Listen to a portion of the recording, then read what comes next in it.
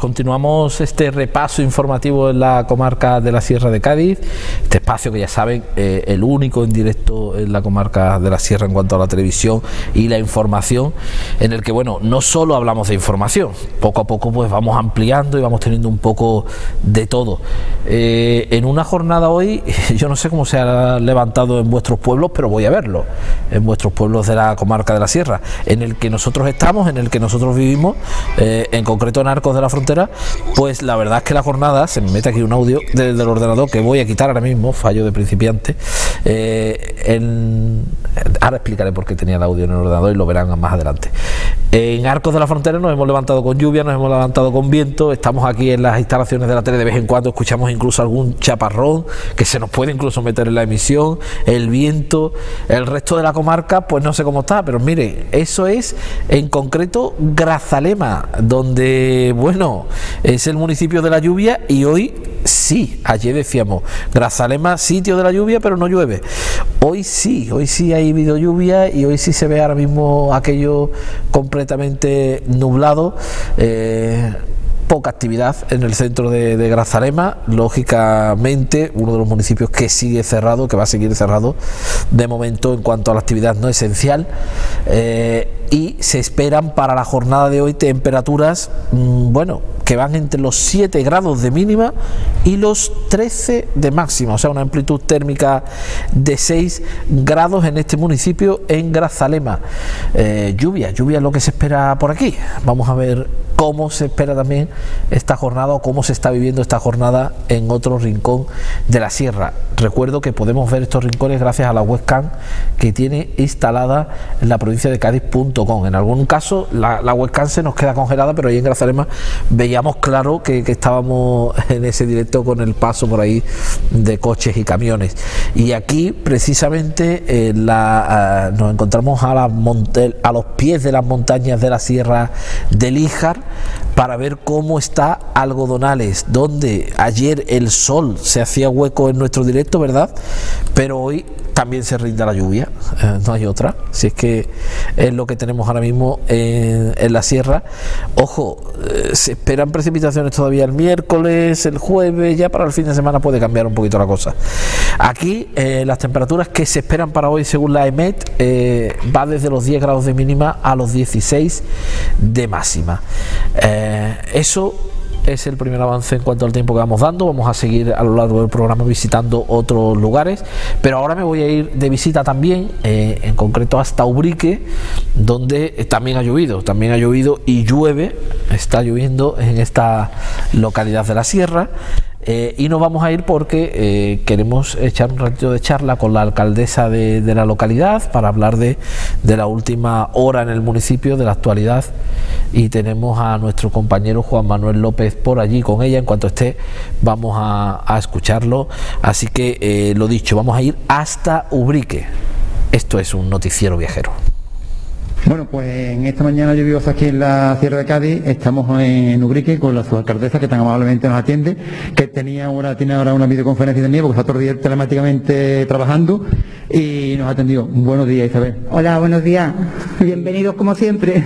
Y como decimos, como decimos que es que no paráis de estar, parece que no, pero el político está todo el día ahora con, con el micrófono, con los aparatos que están aquí, en, teniendo reuniones, teniendo, buscando cosas para el pueblo, ¿no? Así es, Curro. Yo creo que la, gestión al final de los ayuntamientos, de los alcaldes y sus concejales, estamos todo el día a pie de cañón, atendiendo también situaciones extrañas, ¿no? A, las inquietudes de nuestra gente, a las demandas y necesidades también económicas que van eh, acuciando cada vez más. Y luego, aparte, lo ordinario, tenemos que seguir manteniendo esas reuniones para seguir trabajando, ¿no? Los asuntos que a Ubrique le compete, especialmente con otras administraciones, para seguir ese camino de culminar, ¿no? Los retos que tenemos como ayuntamiento y las mejoras de, del municipio. Así que como dices, todo el día en una pantalla, pero bueno, necesario y, y, y te esperemos también que dé su, su resultado, ¿no? Que lo que estábamos comentando, que claro, aparte de, la pandemia, la vida sigue, y más en un ayuntamiento, tiene que estar al día a día con todo, con temas de cultura, con temas de urbanismo, con temas de todo tipo, ¿no? ¿Y cómo lo está llevando eso? Pues la verdad es que es una situación, primero yo creo que hay que agradecer la empatía ¿eh? de, nuestros vecinos y vecinas, porque es verdad que el ayuntamiento, salvo lo que son actividades presenciales, todo lo demás lo vamos llevando y realizando con un orden y siempre con el punto puesto, ¿no? con el objetivo puesto en la seguridad de nuestra gente. Entonces, en el ámbito cultural, pues seguimos, como tú bien dices, dándole contenido, a nuestras salas de exposiciones para que la gente de Dubrique también pueda respirar, disfrutar de la cultura. En este momento se ha inaugurado en la exposición del antiguo mercado una exposición de fotografía, cerraba la de un pintor local, Blas, que también ha tenido un gran éxito, y tenemos que seguir dando contenido, como decimos, para que nuestra gente pueda también desconectar un poco de esta situación tan, tan difícil, ¿no? Pero, como decimos, siempre cumpliendo los aforos, con los planes de seguridad y sin hacer actividades que concentren a un gran número de personas en una hora determinada y en un espacio común. Esa es la, la prioridad nuestra. Luego, todos los temas de gestión municipal, como tú bien decías, cuestiones de urbanismo que parece mentira, pero hay muchos vecinos y vecinas que tramitan sus licencias, que están pendientes también. la vida sigue. La vida sigue, como tú bien dices. Nosotros aprobábamos también provisionalmente ya el plan general, pues muchos vecinos preguntando que cómo vamos, cuándo lo va a aprobar definitivamente la Junta, quieren ir viendo también sus opciones de crecimiento. En el Departamento de Servicios Sociales seguimos detectando esas necesidades que van apareciendo también en nuestras familias. Hay gente que en este enero son casi 42 personas, eh, vamos, 42 las que han perdido su, trabajo y eso supone también un aumento de, de necesidad de nuestras familias que tienen que acudir a los servicios sociales y dentro de todo este sistema diferente de atención es verdad que yo creo que tenemos que valorar también la implicación de los trabajadores municipales porque estamos atendiendo a un buen ritmo y casi a una marcha forzada porque son cuestiones que no pueden esperar. Y ahí pues vamos, como todo el mundo ocurre, la vida sigue, hay mil situaciones que a la ciudadanía tienen que seguir trabajando y dándole respuesta y no podemos dejar de, ni parar en ese sentido. ¿no? Imaginamos que la delegación de servicios sociales es, ahora mismo una de las que más solicitada está, porque gente que nunca se habían visto en este brete de decir tengo que acudir, y aunque ya no- muchas veces se, acude por necesidad, por verdadera necesidad, porque, tú- como tú bien sabes, antes daba un poquito de pudor o un poquito de vergüenza el acudir, ahora no tienen más, remedio que acudir, y me imagino que será una de las delegaciones más solicitadas, ¿no? Bueno, es una de las delegaciones, como tú bien dices, la que la solicitud de, de atención es más numerosa porque las dificultades, ¿no? Es esto una situación sobrevenida que nadie esperaba, que tiene sus consecuencias, como bien sabemos, ¿no? En el ámbito laboral, en el económico, y entonces está haciendo que nuestras familias pues se vean en situaciones que normalmente no están acostumbradas. Por eso nosotros insistimos siempre que los servicios sociales están para atenderles y el ayuntamiento, con todos los recursos que podamos, vamos a estar ayudando a las familias y esos pudores, como tú bien dices, que la mayoría de la gente, al ser personas responsables, eh, le cuesta ¿no? de ir a pedir ayuda a su ayuntamiento, pero ahora esas, circunstancias no son elegidas ni son motivadas por ellos mismos y el ayuntamiento tiene que estar a su lado dando respuesta como no, puede ser la manera y se nota aumento, el aumento de personas que quieren atención, digamos, para poder valorar su situación familiar y obtener esas ayudas del ayuntamiento. O al menos paliar un poco lo que son esas necesidades que tienen en, este- en estos momentos. Eh, afortunadamente Ubrique para que es uno de los pueblos que está resguardado del COVID, que nos quiere decir que mañana o, o incluso hoy o esta tarde mm, suba, suba porque esto es una montaña rusa, pero afortunadamente Ubrique se, está manteniendo en 200 y pico, 300 más o menos la tasa cada 100.000. Eh, me imagino que por la responsabilidad de los vecinos y por todo el cuidado que está teniendo desde el consistorio, ¿no? Bueno, yo, cre- yo creo que estas cosas, como digo, cuando... Na- porque- exactamente, igual que no podemos culpar cuando llega, porque salvo que sea un temerario y alguien se exponga de una manera clara, no se puede culpar cuando llega la afección de la COVID, pero mm, igual, ¿no? No hay un secreto, no hay una cuestión solo, sino la unión del esfuerzo que está haciendo toda la colectividad, toda la sociedad briqueña. Desde carácter individual, del cumplimiento de las normas, a eh, como es normal, mm, cumplir todos los protocolos de seguridad en las fábricas de marroquinería, que como siempre destacamos es algo que inquietaba mucho y está funcionando gracias a la implantación de esos protocolos por parte de las fábricas y el cumplimiento de nuestros marroquineros y marroquineras, porque es que es verdad que son espacios donde confluye un número importante de trabajadores y trabajadoras, por suerte. Esperemos que el trabajo siga aguantando un poco, está disminuyendo como estábamos comentando, pero hay expectativa que de aquí a, unos meses podamos recuperar un poco lo que es la, la piel de Ubrique. Y entonces, bueno, luego la policía, que también me gusta resaltarlo, la policía está totalmente volcada en atender cuando recibimos llamadas, llamadas de situaciones no llamativas y que nos alertan a que no se están cumpliendo esas medidas de las autoridades sanitarias para poder intervenir y, atajar ¿no? la situación de inmediato. Creo que están haciendo una gran tarea que viene también a complementar ese esfuerzo que estamos diciendo. Nuestros establecimientos, los comercios, la hostelería. Yo creo que se ha demostrado también que han implantado sistemas seguros. Y es verdad que luego muchas veces el cliente el que debe de cumplir de manera clara, exactamente, ser responsable y que no haya ese enfrentamiento muchas veces, ¿no? Que vamos a los lugares a consumir y queremos hacerlo como antes, ¿no? Ahora hay unas circunstancias muy especiales que hay que seguir siendo muy respetuosos. Pero yo creo que esa, esa muestra, ¿no? Del compromiso también de, los comercios, de la hostelería ubriqueña y de la mayoría de la gente que acude a ello, pues está facilitando también esa contención. Estamos hoy por hoy, curro hoy martes, a, extensa, ¿no? De la actualización de los datos de hoy, a una tasa sobre 100.000 habitantes de 331. Exactamente. Entre 200 y 300. Y eso, exacto. Y ayer lunes, que es el día, yo es el día más temido, porque el fin de semana no, te dan el, dato por municipio, se incorporaban 15 personas más, ¿no? Son 55 casos los que tenemos activos, pero como digo, yo siempre creo que a lo largo de la semana los efectos de, la responsabilidad y también de la acción de nuestra gente va haciendo que la tasa la vayamos manteniendo por debajo de los 500, que es importante para que no se cierre desde luego perimetralmente Ubrique, pero a nosotros la vista la tenemos puesto no llegan nunca a los, a los 1000, porque estamos comprobando en pueblos vecinos lo que eso supone el cierre de las actividades no esenciales. Exactamente, que por cierto le doy la enhorabuena también, ¿no? Eh, Villamartín, el Prado de Rey, Arcos se incorporan ya mañana, bueno, esta noche a, las 12 de la noche, pues por debajo de la tasa de los 100.000, con lo cual van a recuperar un poco esa actividad económica que ojalá les vaya estupendamente. Hombre, lo que sí es cierto, eh, que bien comentábamos que el, tema de la tasa COVID eh, a los pueblos pequeños, sobre todo a, gran parte de la serranía, o incluso un poquito menos arco, porque es más grande, nos afecta cada, vez más. Y lo hablábamos antes fuera de cámara, que hay pueblos, pueblos pequeñitos que al menos con tres, con tres casos ya, ya se pasa de los 500. Esto claro, también hay que ver que, las autoridades competentes tienen que tomar siempre una forma de, medir, pero que es verdad que a los pueblos pequeños, o sobre todo a la parte esta aquí de la sierra, nos afecta más, directamente, porque con, menos casos la tasa sube rápidamente. Es lo que tienen los, valores absolutos. Es verdad que luego cuando te lo cuentan, claro, no es lo mismo una población pequeña, que un caso puede suponer un gran problema, ¿no? Bueno, en todos los sitios, pero a la hora del efecto de contagio, en, los más grandes sitios pues necesitamos un, gran, un mayor número de personas para que sean ese nivel de alerta. Pero es cierto que muchas veces te pones a mirar esas tasas, como estamos comentando, y esa alarma, cuando la detallas y lees el número de, personas, bueno, pues da cierta tranquilidad, porque dice, bueno, estamos hablando de un par de casos. Lo que pasa que al nivel de población, pues se dispara, se dispara de una manera rapidísima. Eh, bueno, vamos a hablar de cosas un poquito, un poquito, un poquito más alegres. Ya muy de enhorabuena, ya hablamos en su momento del PGO y ya el PGO va, eh, en el proceso que tiene que seguir.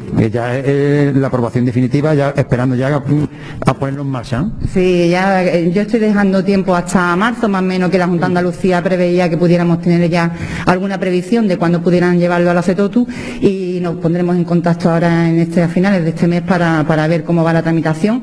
Están en la evaluación ambiental estratégica, están haciendo sus informes sectoriales y bueno, yo creo que, dentro de, unos meses, eh, de un par de meses esperemos, vamos a tener ya noticias positivas en ese sentido. Un PGU que va a dar un huerco total a, lo que es el Ubrique actual y va, a dar, aparte del huerco visible, un huerco también eh, invisible para, para todo, ¿no? Bueno, yo creo que nuestro plan general es al final a las... un sueño, un sueño. Un sueño, un sueño, de, muchas corporaciones también locales. A veces, a hacer pesadillas y ahora, sí, estoy de acuerdo contigo.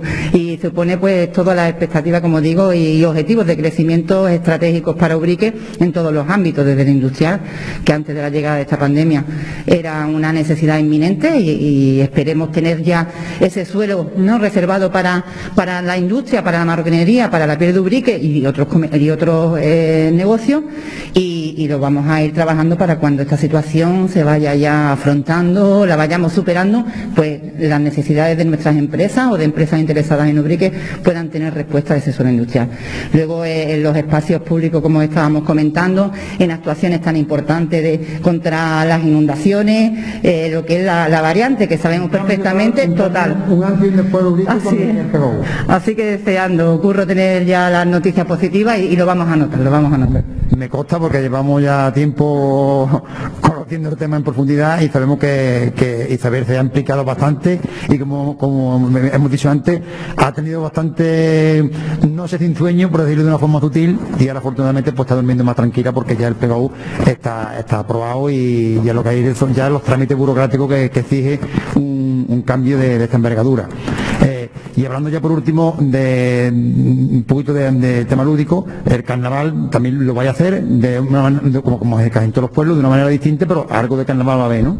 Bueno, nosotros hemos renunciado al carnaval. Yo creo que el mensaje que hay que mandar al pueblo de Urique es que no va a haber carnaval. Eh, exactamente. Pero sí es cierto que entendemos que podemos hacer, ¿no? Lo que todo el mundo acudimos a esas actividades telemáticas, en redes, online, y vamos a intentar, mm, no con la, digamos, con repertorios nuevos, las agrupaciones, eh, algunas de ellas han hecho ciertas cosas, ¿no? De, categoría, como se suele decir, que seguro que compartirán en redes y estaremos atentos para poder darle difusión pero hacer también una antología de, la historia del carnaval de, Ubrique y estamos preparando ahí una serie de, publicaciones para que la gente también disfrute de, la historia carnavalera uriqueña que, tiene sus profundas raíces.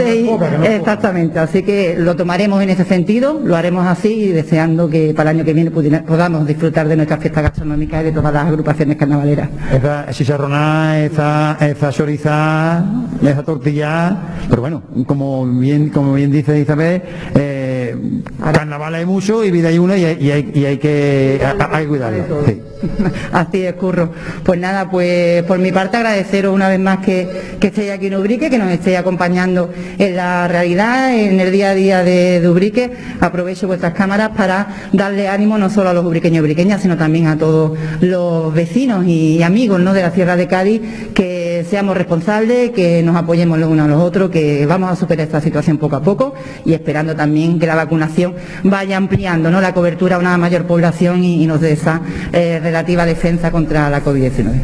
Pues como decía la alcaldesa de Ubrique, esperemos que COVID vaya bajando, que parece que va bajando, no con lo, con la rapidez que deseáramos todos, va, parece que va poquito a poco. Eh, esperando la vacuna, que parece que van llegando también, no con la rapidez que, que, quisiéramos, sino que va poquito a poco, pero que, como también dijimos, poquito a poco va todo y, yendo a, la no normalidad dentro de la normalidad, perdón, la normalidad dentro de la no normalidad, que ya sería uno. Bueno, Juan Antonio, desde aquí nos vamos a, otro punto de la sierra. Bueno, pues eh, hablaba la alcaldesa de Urique, Isabel Gómez, y hablábamos de los datos con ella. Eh, el dato oficial que se acaba de dar a conocer hace unos minutos, todavía hay una bajada mayor en Urique, de momento se mantiene en torno a la tasa de 300, 301,1, eh, 50 casos activos en lugar de 55 aprovecho para decir que se han dado a conocer todos los datos de la provincia eh, y entre ellos, pues evidentemente los de la comarca de hoy. Muy buenos datos, por, por cierto. Quiero hacer matizaciones con respecto a los datos, porque entiendo que, la gente tiene la cabeza ya loca y a punto de estallar y, al final se ven cosas raras por todos lados y parece que nos engañan por todos sitios. Mira, yo os voy a dar, por ejemplo, mm, una, un par de titulares y... Eh, os explico, para que mm, no os llevéis tanto a confusión y no veáis lo que no hay en, los medios, que hay de todo, pero también hay cosas buenas y, no siempre se intenta manipular, por lo menos desde, desde, los pequeños que estamos aquí para contar las cosas como son y ya está. Eh, os digo, por ejemplo, dos titulares. Hoy la Sierra tiene 24 nuevos casos de contagios. Es verdad, es un dato objetivo. Desde el inicio de la pandemia, la Sierra lleva ya 5.892 casos, 24 más que ayer, ¿vale? Que había 5.868. Es verdad. Pero si también enfoco la noticia diciendo que hoy la Sierra tiene 82 contagios menos, también es verdad. ¿Y cómo tiene 26 más y tiene 82 menos? Bien, el primer dato nos referimos a los casos totales, es decir, fulanito de tal ayer no tenía COVID, entre comillas, o, ayer no se contabilizaba el COVID porque no era positivo y hoy, como es positivo, ya contabiliza que es un infectado más por COVID, ¿vale?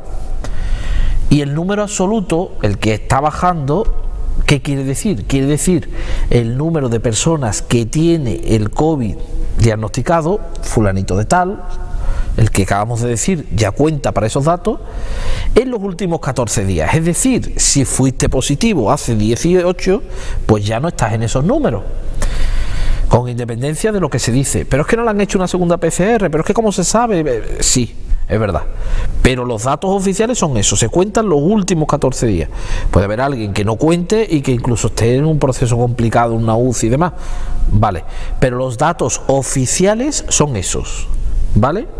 Lo digo para que no llevéis eh, a engaño, para que no llevéis a engaño. Eh, Dicho eso, mm, los datos son esos. Hoy, 24 de subida, 24 de subida en los casos globales, 82 de bajada en los casos de PCR positivo en los últimos 14 días. Hablamos de 964 y eso le permite a la comarca de la Sierra contar con una tasa de 834,1 ha bajado, está bajando pues, pues muchísimo. Mira, si, busco aquí el dato que lo tengo por delante, de la semana pasada, eh, el martes pasado, nuestro, nuestra tasa era 989,8, eh, hoy es 834,1. Por eso contamos que está bajando, aunque haya nuevos casos, que los hay, que los hay, ¿vale?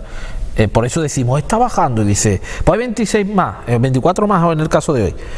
¿Y cómo va? Está bajando, chiquillos, si hay 24 más, pues os lo explicamos, esto es un autobús y hace una parada. Eh, en una parada dice, ¿se han montado 10 más en el autobús? Y dice, pues van 10 más que antes. No, se han montado 10 pero se han bajado 22, con lo cual van 12 menos.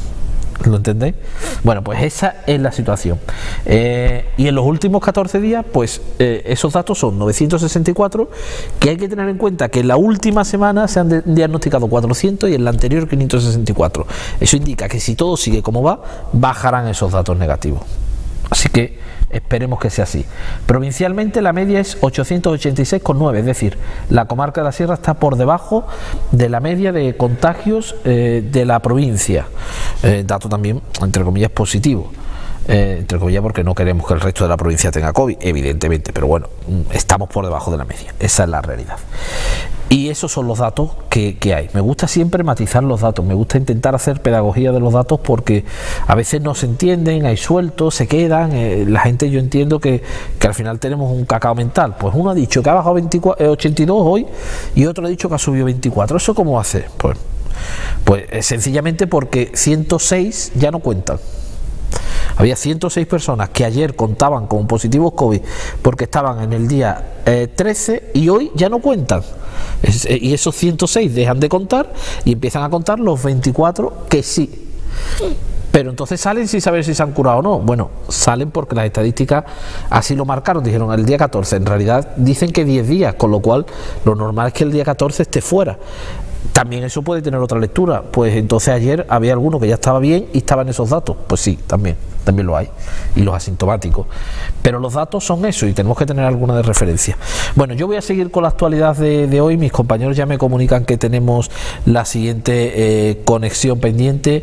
En concreto, eh, vamos a hablar con el colectivo de Ama Natura en Arcos. Para quien no lo conozca, bueno, pues una organización eh, que persigue pues, el mantenimiento de la naturaleza, la sostenibilidad, luchar por todo lo verde, con un espíritu ecologista.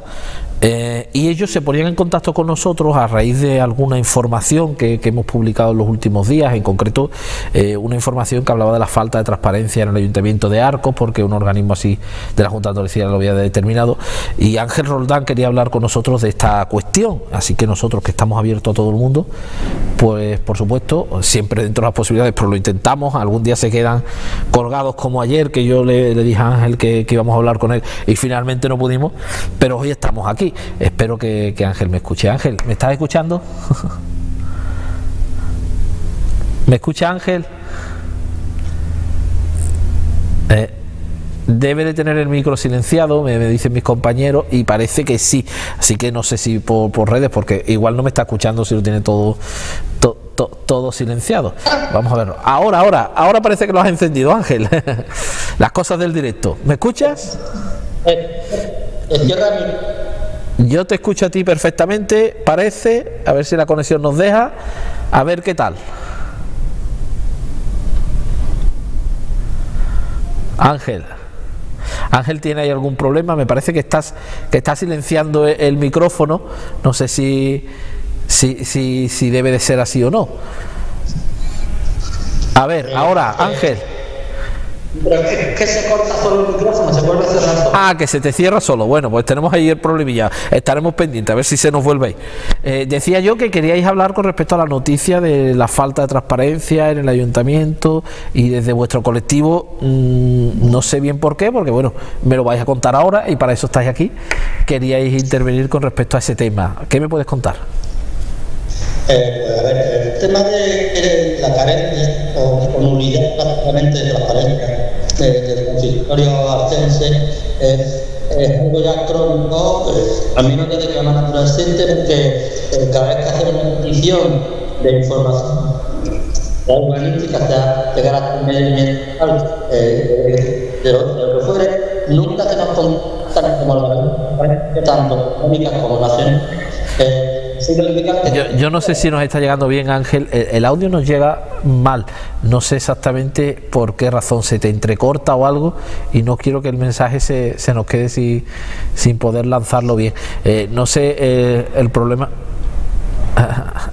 si te puede acercar ahora a ver, sí, igual acercándotelo así nos llega un poco mejor el audio. Las cosas de, de la tecnología y del directo. A ver, Ángel, a ver si te escucha ahora bien.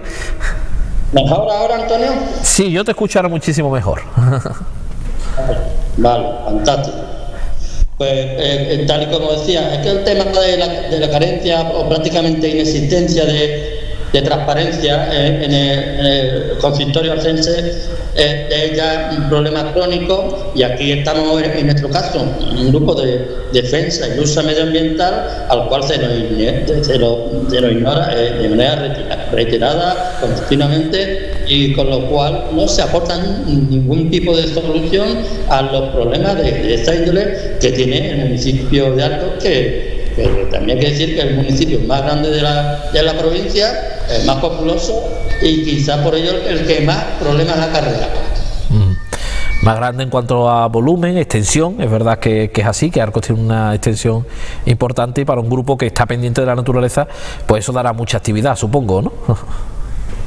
Uf, una actividad inabarcable a veces, porque con muchísimos temas los que salen a diario y, y, además, pues el ayuntamiento se dedica a ponernos cinistas en el camino, cinistas de manera también continuada y, y, a darnos respuestas eh, verbales, nunca por escritas falsas y, y hacer mm, del medio ambiente eh, como una delegación eh, prácticamente inexistente eh, en el municipio, con las grandes repercusiones que tiene. Y esto tiene repercusiones de índole social, de índole de, de la salud, de índole económica, de ordenación del territorio, etcétera, etcétera y a raíz ya de que eh, el Consejo Andaluz de Transparencia nos ha dado la razón, al igual que también se la ha dado anteriormente al Ayuntamiento de Borno, sobre eh, que mm, el municipio de Arcos no cumple con las leyes de transparencia, pues por fin va a tomar carta en el asunto. Esto ha sucedido después de que nosotros eh, de decenas eh, de, de, quejas ante el Consejo Andaluz de Transparencia, en la cual en todas, absolutamente todas, se nos ha dado la razón y cada vez que se nos hace una comunicación a, nuestro grupo, en paralelo se le comunica también al consistorio. Y ahora el alcalde sale diciendo que él no sabe, que él desconoce eso. Mm, pues el alcalde de Arcos miente más que agua. Y ahí están las pruebas. No es mi palabra contra la suya, son las pruebas documentales de todo tipo. Ahí está el de Transparencia para que se le pueda preguntar al respecto. Y bueno, y ahora pues probablemente, y así, si, si se sigue la ley, al pie de la letra, probablemente vaya inhabilitaciones de, de, de algún delegado o delegada o incluso de la propia alcaldía. Entiendo por, por, las palabras de Ángel que vosotros sois quienes os habéis dirigido a ese, eh, a ese organismo para, para, solicitar, bueno, para dar a conocer la actuación del Ayuntamiento de Arcos, ¿no? Porque en prensa nos sorprendió que, que saliera esa, esa información y no teníamos a santo de qué venía ni, ni cómo. Nos dice Ángel que su colectivo sí ha sido uno de los que ha acudido, ¿no? Sí, sí, y tenemos conocimiento de que ha habido también eh, otras personas de título particular que también lo han hecho, porque no, no solamente no se nos contesta a Manastura, sino a la mayoría de las personas que solicitan información eh, que de carácter público, eh, tan solo aquí lo único que se puede mm, sustraer de, informar son los, eh, eh, los datos de carácter personal siempre y cuando sea una persona física. Si es una persona jurídica, no tiene protección de datos, según la ley, la misma ley. Entonces nosotros eh, hemos, cada vez que hemos hecho peticiones de información al municipio y pasan los 30 días reglamentarios para contestarnos, si no nos contestan, volvemos a hacer una segunda petición. Todo esto siempre es pasado por el registro municipal. Es decir, en la segunda municipal, la segunda, la segunda petición no nos contesta otra vez en el plazo de 30 días, pues ya remitimos el tema al Consejo de Transparencia. Y así pues llevamos unos años y en estos años pues, se han acumulado decenas hasta el punto de que fueron ya tantas y, algunas de ellas eh, con un peso muy importante que ya eh, solicitamos a través del grupo jurídico que tenemos la suerte de tener en Amanatura, solicitamos al Consejo Andaluz de, de Transparencia que venga que ponga las sanciones que en las leyes de transparencia dicen que, que, hay que eh, poner y, y que se lleven a cabo, se ejecuten. Porque si impone una sanción pero luego no ejecuta, no vigila el cumplimiento de la misma, pues es agua de borraja. Ángel, no sé si nos quieres añadir algo más al respecto, si quieres eh, comentarnos algo, pues con la misma libertad que le damos a, todo el mundo, por supuesto. Pues sí, pues sí, pues, la verdad es que sí, porque ayer también salió en otro medio unas declaraciones del alcalde eh, el otro ya fue diciendo que desconocía que ellos no habían recibido notificaciones ninguna del Consejo Andaluz de Transparencia, lo cual es una mentira eh, tan grande como la peña de Arcos.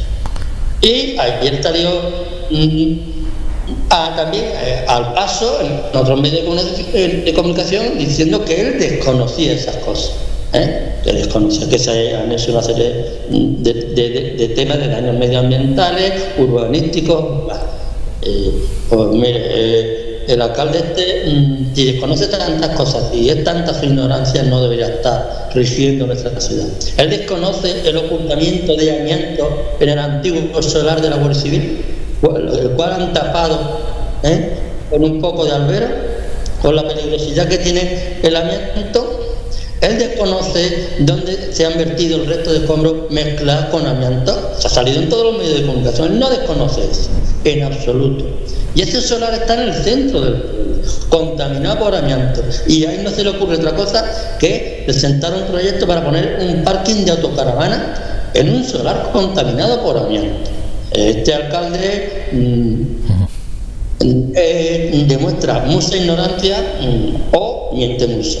Yo me quedo con lo segundo, porque eh, un ayuntamiento con 700, 700 trabajadores de media, para 30 y poco mil habitantes, eh, debería tener conocimiento el alcalde y los delegados todo de, de, todos los temas que se mueven en el pueblo, pero al 200%. Pues muchísimas gracias Ángel por, por, habernos atendido, por acudir a nosotros para que eh, os diéramos voz y, y ya está, para eso estamos aquí en los medios de comunicación. Gracias. Pues gracias a usted, Antonio, por, estar ahí, por, hacer un poco de, de portavoces, de voceros de los movimientos que, realmente trabajamos por el bien común. Esto lo hacemos todo de manera, como sabéis, eh, altruista, voluntaria, dedicándole mucho esfuerzo y encima pues eh, eh, nos señalamos, ¿no? Y con el apoyo de ustedes, pues la verdad que un poco más de fuerza se hace. Así que reitero nuestro agradecimiento. Gracias. Nosotros estamos para eso, para llevar todas las, informaciones que sean necesarias hasta casa, todas las visiones. Es cierto que el alcalde incluso aquí, pues también hace unos días, eh, daba a conocer esa, eh, esa resolución y su punto de vista, así que eh, Amanatura nos pedía también participar en el debate público y lo hacemos de la forma que se hace ahora, que es con videoconferencias y demás, porque las cuestiones de espacios, de distancias, de, de, seguridad, de COVID y demás. Pero bueno, ahí queda, queda sobre la mesa. Muchísimas gracias Ángel por acompañarnos, muchas gracias a, Manatura. Nosotros vamos a, continuar y precisamente si hablamos de, denuncias, antes de continuar, quiero eh, eh, compartir un par de fotografías que nos han llegado desde Arcos de la Frontera, que debo de decir que no son nuestras y que además no tengo identificado de quién son y no me gusta, no me gusta hacerme... Eco de las cosas sin saber de quién es la fotografía en sí. Sé que nos lo han enviado eh, a nosotros para que nos hagamos eco de la información. Vivimos en los pueblos y sabemos qué sucede en los pueblos, por tanto sabemos que, son informaciones ciertas, pero hombre, si alguien ve su fotografía y dice, oye, ¿cómo han utilizado mi fotografía sin yo saberlo? Pues eso es lo único que me justifico, porque realmente no sé quién es el autor de la fotografía. Eh, nos la han enviado porque se está enviando por redes sociales. Eso es agua, agua del grifo, eh, la zona del barrio bajo eh, denuncian que, en los últimos días, el barrio bajo de Arcos, están recibiendo esa calidad de agua en sus domicilios. Mm, o sea que, es difícil asearse con esa, con esa, con ese tipo de, bueno, con ese agua, de ese color. Eh, vamos a, ahí se ve incluso una bañera de, de, bebé esta situación. Eh, hoy doy a conocer esto, pero me voy a poner en contacto con Aqualia que nos pueda eh, contar qué está sucediendo ahí, qué sucede, qué problema hay y si, sobre todo, si tienen prevista alguna solución. Eso lo, prometido es deuda, eh, no sé cuánto tardaré en que me respondan o no, pero lo vamos a hacer, ¿vale? Nos vamos a poner en contacto y vamos a llevar esta denuncia hasta eh, el organismo competente, la institución, lo que sea. En este caso, entendemos que la empresa concesionaria del agua Aqualia, a ver lo que nos puede eh, comentar. Eh, para eso también estamos, para que nos hagan llegar sus denuncias, sus noticias, sus cuestiones y nosotros le tratamos de dar visibilidad y al mismo tiempo le intentamos eh, mandar bueno, intentamos dar alguna, algún tipo de respuesta, si nos la dan, evidentemente. Ahora mismo desconozco qué sucede con el agua en esta zona de María Auxiliadora, del barrio bajo, pero bueno, mm, realmente sí que nos ha llegado por varios medios que esa es la situación. Fíjense, estoy hablando con ustedes y me están llegando mensajes diciendo, sí, sí, mira cómo está el agua en mi casa. Y bueno, mandándonos fotografías, pero bueno, vamos a, continuar. Eh, vamos a continuar hablando de la situación del COVID en algunos municipios. Tengo eh, en Puerto Serrano donde, bueno, sí, sí, sí, bueno, sí, es verdad. Os iba a hablar de Puerto Serrano, pero lo voy a hacer a la vuelta a la publicidad, porque los compañeros me dicen que no, mira la hora, que la publicidad, que tiene que entrar. Vámonos a publicidad, en unos minutos seguimos aquí en el directo en Canal Sierra de Cádiz, que ve cómo me enrollo. Hasta ahora.